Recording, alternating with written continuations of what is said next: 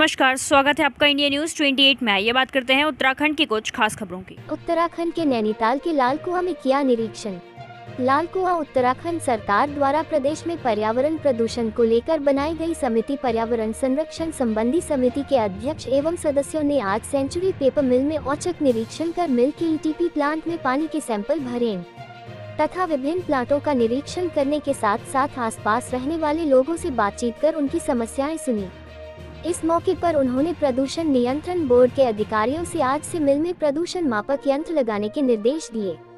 यहाँ उत्तराखंड पर्यावरण संरक्षण संबंधी समिति के अध्यक्ष एवं घनसाली के विधायक शक्तिलाल शाह सदस्य एवं विधायक गंगोत्री सुरेश चौहान और सदस्य एवं विधायक लाल कुआँ डॉक्टर मोहन बिष्ट ने प्रदूषण नियंत्रण बोर्ड और प्रशासनिक अधिकारियों के साथ सेंचुरी मिल से फैल रहे प्रदूषण को लेकर मिल रही शिकायतों को गंभीरता से लेते हुए century pulp and paper mill में छापेमारी कर तमाम प्लांटों का औचक निरीक्षण किया, तथा मिल के इफुलेंट ट्रीटमेंट प्लांट में पहुँच पानी का सैंपल भी भरा।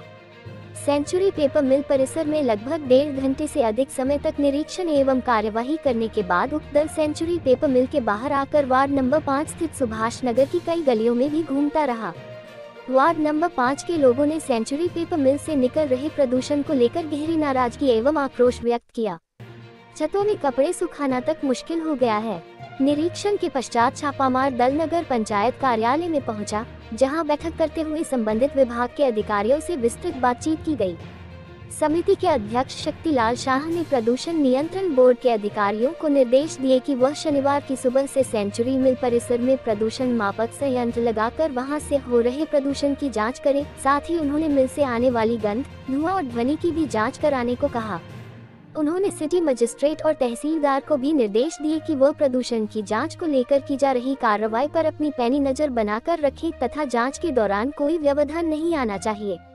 इस दौरान प्रदूषण कंट्रोल बोर्ड के क्षेत्रीय अधिकारी डॉक्टर डी के जोशी सहायक वैज्ञानिक अधिकारी एस सी जोशी, अवर अभियंता शुभम गोसाई, सिटी मजिस्ट्रेट हल्द्वानी रिचा सिंह, तहसीलदार लालकुआ सचिन कुमार, रजिस्ट्रार कानून मोहित बोरा, नगर पंचायत अध्यक्ष लाल चंद्र सिंह सहित भारी संख्या में क्षेत्रवासी मौजूद थे।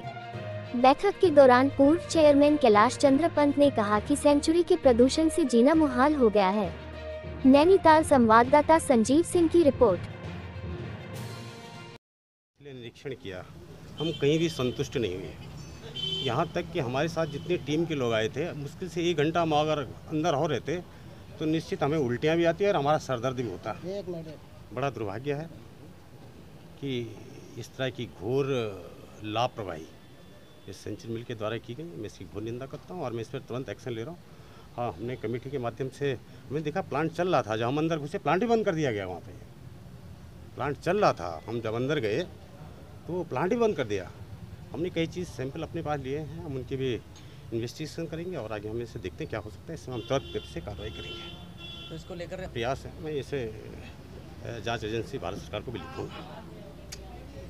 माननीय विधायक जी ने भी ये बात कही थी। अभी कई इश्यूज़ मेरे सामने जनता के भी आए हैं। मैं इस पर भी अभी हो सकता है कि सुबह भी कुछ और रिसर्च करूँगा और क्या मिलता है इसे मैं गंभीरता से लूँगा। मैं संतुष्ट नहीं मैंने कहा ना एक घंटा अगर हमारे साथ सिटी मजिस्ट्रेट थी, वो लड़की बाहर कहने लग गई हमें मैडम के, बाहर चलो उल्टी आने वाली है। ये स्थिति है वहाँ की। ये तो बहुत घोर लापरवाही है। मुझे नहीं लगता कि उन्होंने कोई भी फ्लॉ नहीं किया। खाली हवा में चलने वाली बात नहीं है।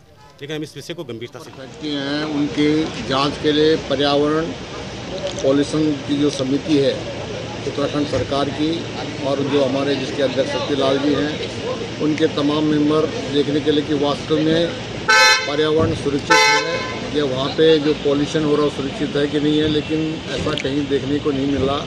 कई फैक्ट्रियाँ अच्छा काम कर रही हैं, लेकिन कई जो अभी यहाँ पर जिस फैक्ट्री को हम देखने के लिए आए, उसकी स्थिति बहुत दयनीय है। यहाँ के जो हमारे बहुत ही सम्मानित विधायक हैं, उन्होंने इस बात को पर्यावरण समिति ने रखा और उनके अनुरोध पर यहाँ पर जो है पर्यावरण समिति ने जो है अपना विज़िट किया और काफ़ी कुछ कमियाँ पाई गई और हम चाहेंगे कि इसको जो है तत्काल अगर उसको नहीं करेगी तो उसके खिलाफ तत्काल कार्रवाई तो इसमें लिए।